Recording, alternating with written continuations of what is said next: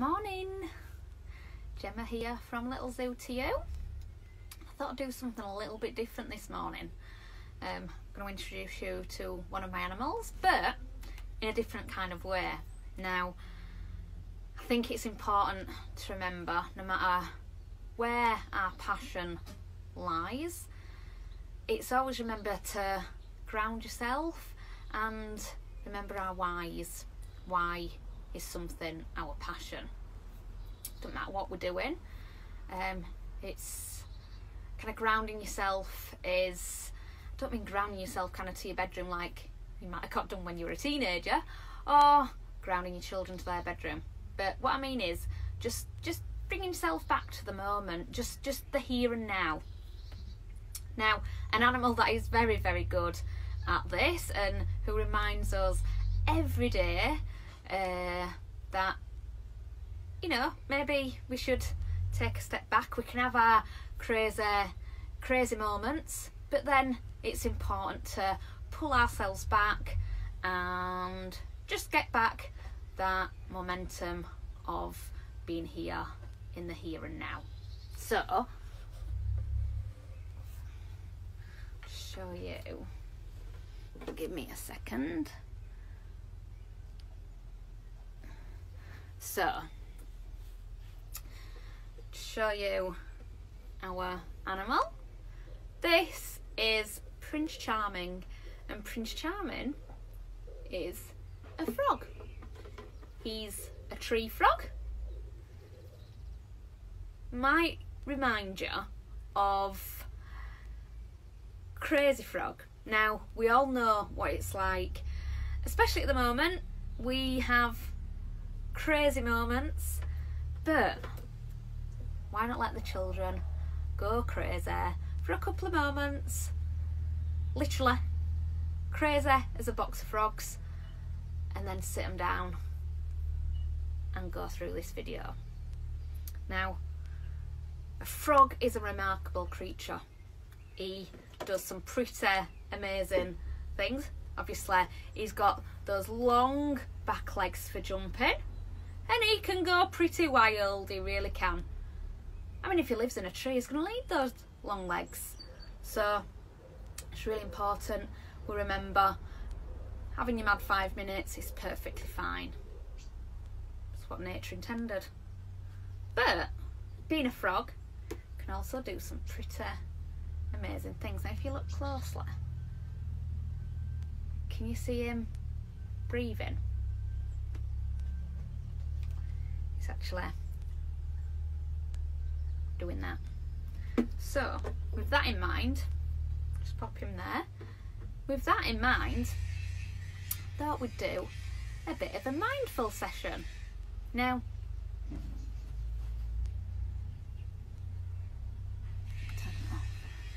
So, what I want us to do is, I want you to sit like a frog. Fold your legs for me. Sit, get comfy, get comfy. Okay? I've got quite wrapped up. It is quite warm in here, but I've got wrapped up because I want to feel nice and comfy. So, thinking of the frog. Frog is capable of enormous leaps. Now, my frog can jump five times the length of his body which is quite amazing for his for his size, but his legs are double the size of his body. So can do some pretty amazing jumps, but also it can sit very, very still. Now, although it is aware of everything that's happening around him, because he needs to protect himself, still aware of what's going on, it can still not react to his surroundings. So, as an example, he can he can excuse me, he can be sitting, he can be listening to what's going on,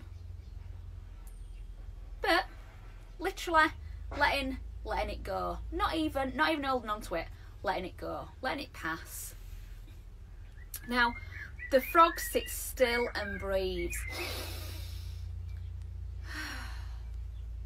Not listening, not taking in anything what's going on around him. So what I want you to do is just want you to sit there for a couple of moments count to four. One, two, three, four. Now, what I want you to do is count to four, but breathing in. So have a think about your breath. It's going in through your nose. Feel it, feel it round your nostrils. Feel the sensation of that breath going in through your nose, and at the same time,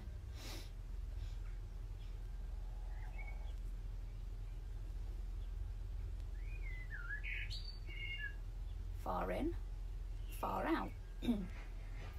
now your out breath tends to go quicker coming out. Okay, just to let you know, if you can't come out on four four, that's perfectly fine. So, sitting like a frog in four.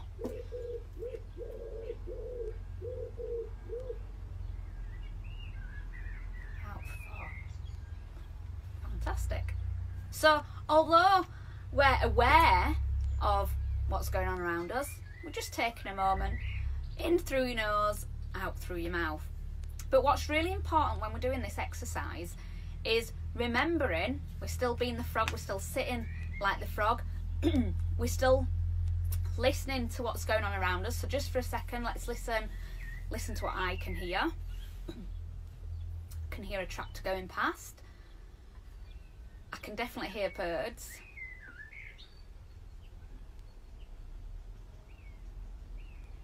I can hear somebody in the far distance actually with a lawnmower.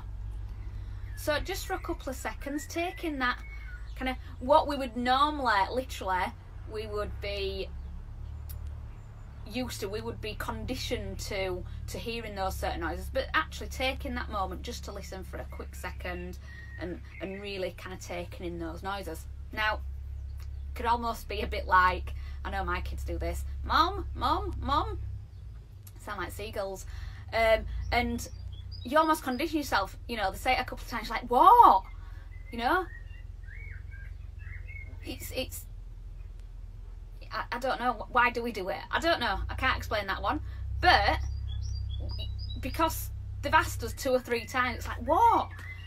But because we haven't answered first time, they say it. But we just, you know, we're just very conditioned to certain behaviours what we used to. It's, yeah. So, just by taking these couple of moments,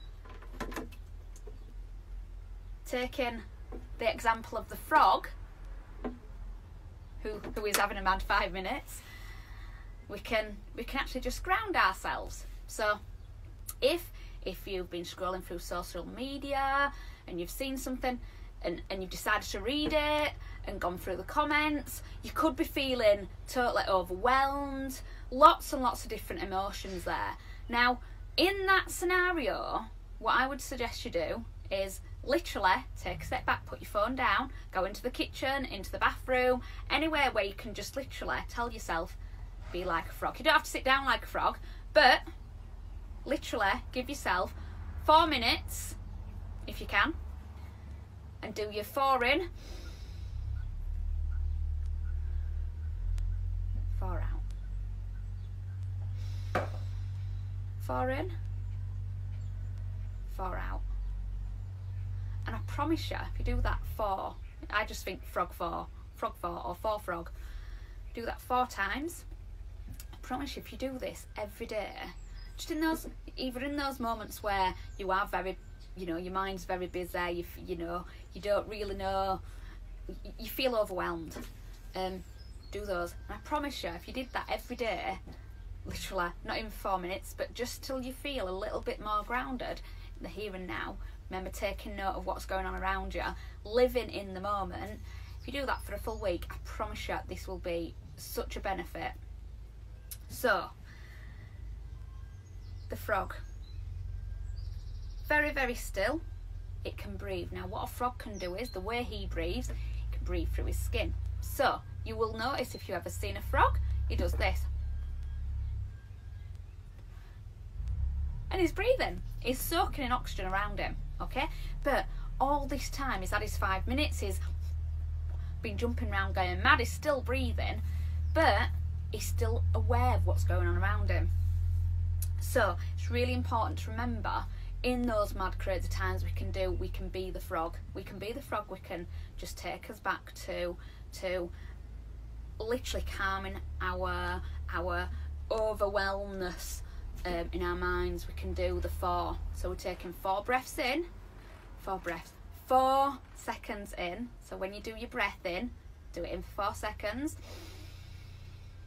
four out.